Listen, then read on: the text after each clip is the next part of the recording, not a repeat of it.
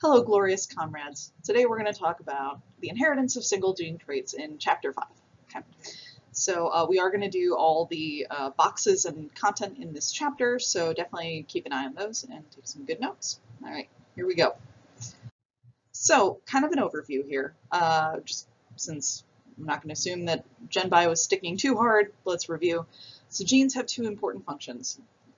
Key one is that they're inherited, they're something passed down from parent to child, and then they are expressed. The gene actually codes for something that uh, contributes to a phenotype. Okay?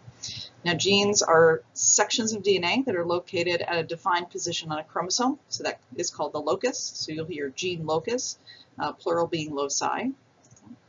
Uh, changing the DNA, the sequence uh, within, within the gene, such as any kind of mutation, like we heard about in chapter 3, results in changes in morphology and phenotype. Now, diploids, most multicellular organisms are diploid, have two copies of every gene. And then the last sort of overview thing is that genes uh, have different alleles, different versions of the same gene and those are written as either a uppercase or a lowercase letter, and uppercase usually indicates that the that allele is dominant over the other. And if we have a heterozygote, uh, you either write it with a slash in between the two different uh, letters or just together. And we always have the capital letter first. Okay, onwards. So a little bit more terminology. Uh, our phenotype, again, that's our trait that can be identified or measured, and that's determined by a combination of your genotype and the environment. And then our genotype is that uh, genetic constitution or the genetic makeup, the actual DNA sequence underlying the phenotype. And then finally our gene is our unit of inheritance there, and our allele is an alternative form of gene. And we could have just one allele, in which case that allele is said to be fixed in the population and that there aren't any other variants floating around. We could have two variants uh, or just many, um, five, six, seven, but two is what we're going to work with when we're talking about, um, you know, just if we have one dominant and one recessive gene. So a little more terminology before we dive in. Our dominant allele, uh, we define that as the allele or gene that expresses over the recessive allele when it occurs in a heterozygote. Okay. So hetero means different, so a heterozygote has different alleles on each uh, chromosome there. So our capital and our, for our dominant allele and a lowercase r for our lower allele, recessive allele. And we're always going to put the dominant one first. And I'm going to try to use letters that look different uh, in upper and lower case. It's not always the case because sometimes, say, for the white gene in uh, Drosophila, W is the standard terminology and we're just going to have to stick with that. Okay? And then some, an individual can also be homozygous, so homo meaning same. Right? So homozygous dominant means you have two copies of the dominant allele, and then homozygous recessive, meaning you have two copies of the recessive allele. And another term we're going to use a lot is carrier. So if an individual is heterozygous, they are carrying maybe that recessive allele is um, detrimental, but it's not going to be expressed uh, because in the heterozygous, it'll only be expressed in the homozygous recessive. But um, carrier is a term referring to a heterozygous individual that has a deleterious recessive allele that they are carrying but not expressing. So Gregor Mendel, I'm sure you've all heard of him as this kind of founder of the science of genetics, and he studied true breeding peas and crossed them and diligently logged the uh, results of his crosses and following them not only uh, to the offspring, but to the grandchildren of the original cross to see how these traits were segregating and moving around in the population. Yeah. And so the key here is that he wrote it down. Science isn't science unless you write it down. And uh, the fact that he journaled all these uh, just meticulously, carefully curated crosses, um, and there is some controversy, and you'll see one of the boxes about is his data too good, but when you're working with um, very large numbers of uh, individuals, you can have some very good stats coming out of it. So, but we'll discuss a little bit later. So how exactly did Mendel do these crosses? Well, he basically um, would remove the male parts from the mother plant that he was going to use, and then uh, hand pollinate, so use a little brush to pick up some pollen from the male parent and put that on the carpel, the purple flower, sort of um, preventing self-fertilization and getting the cross he wanted. And then the carpel would mature into a pod, and then he would save and plant those seeds, and then he would have the offspring from that original cross. So Mendel was kind of lucky in that he picked an organism that, that was diploid and not like tetraploid or something, a plant here, and um, that he followed traits that ended up having just a clear dominant recessive pattern. So flower color, uh, purple expresses uh, dominantly over white, flower position, axial expresses dominantly over terminal, and so on. The, the traits up here are the dominant traits, and then the traits on the bottom are the recessive traits. And so the fact that he was able to find these um, traits that were true, ble true breeding and just had simple discrete uh, phenotypes was really important for the success of his experiments. He tried to do this with bees later in another type of flower and didn't have success just because they're, they're much more complicated. So it's possible that many other people had tried to do progeny testing, but were working with the wrong organism or they didn't keep good enough records and we just didn't know about them. But Mendel's the one who wrote it all down and thus we have his data to, to look at that he was able to synthesize his conclusions from. Okay. So when I say true breeding variety, uh, it means that all the offspring are like the parent for that trait.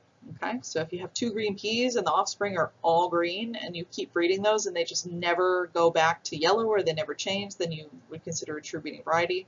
Uh, now we know that those are generally uh, homozygous. Okay, there's no other allele in that population, sort of uh, forming any heterozygotes. It's just all what we'll call true breeding. And so when you cross, if you've got these varieties that you're relatively sure, you know, are true breeding for this trait, and you cross them in the first generation, you don't see much of all happening. You see one trait becoming dominant over the other. And then if you self-fertilize that uh, second generation there, you see that, oh, that recessive trait, the one that has had receded, has now coming back out. Okay, and this is what he was following and analyzing and um, working on. Okay, so you have this interesting three quarters displaying um, that dominant trait and one quarter displaying that recessive trait. So this is where he was starting. Now real quick, uh, let's do some terminology on how to indicate what generation we're talking about. And we've got the parental, okay, so we note that with a P, the very start of the cross. And then the next generation is called the F generation, or the following ones, for filial, which comes from filius filia, and that's Latin for son or daughter. So the, the basically the son-daughter generation, filial generation. And the first one is called the F1, okay, the offspring of the parents. And if we go another generation down, the with the um, F1 crossing itself, we get the second filial generation, the F2, that's our grandchildren of the original cross.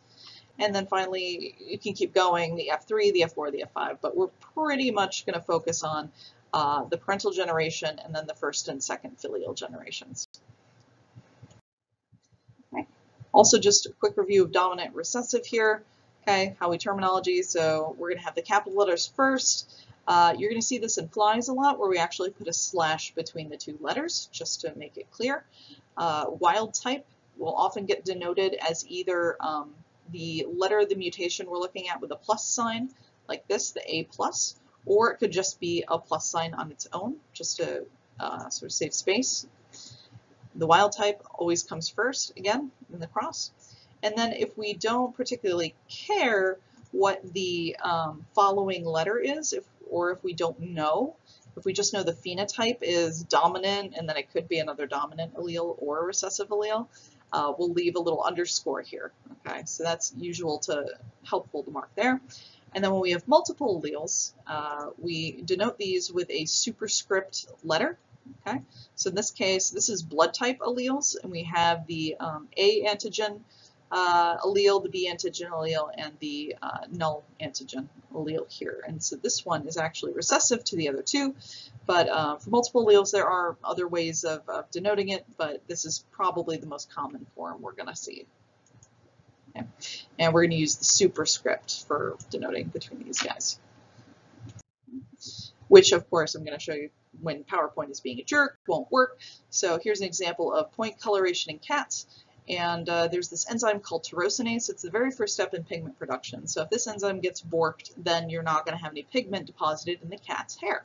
Right? So the um, kind of wild type or um, common allele here is the C allele, capital C, and it just full pigment production everywhere. Um, you're going to see strong pigment. Okay? And then the next allele we have is one called CB, and that should be superscript, but PowerPoint. Won't let me because it's being a jerk, where it has a, it's a temperature uh, conditional mutation, a temperature sensitive mutation, where this enzyme only functions in cold uh, regions of the cat, or, or, functions well in cold regions, and it functions kind of if in the warmer regions. You start seeing the coldest places on the cat, like the tail, the feet, uh, the face and the ears having the darkest coloration. And so then this is for Burmese, CB is for the Burmese coloration, which is here. And next we have CS for Siamese, uh, where we have a severe temperature sensitive mutation. Uh, literally tyrosinase has, has been mutated and it only works in those areas where um, of cold temperature, relatively cold temperature, and does not express in the other areas. And then we have um, the last allele here called uh, just C without any. It's the, the, the, least dominant or the most recessive of these alleles, where it's just a nonsense mutation. Uh, tyrosinase is completely broken because of the early start stop codon, and we just don't have any pigment coloration at all. There's actually multiple ways to have um, albino cats, uh, and this is one of them because it just stops the process uh, in the beginning. So that's kind of our demonstration of multiple alleles here, and uh, which we're not going to work with too much until we get to, I think, chapter 8 or 9, but I did want to go over it real quick. Okay, so we'll go to the next part shortly.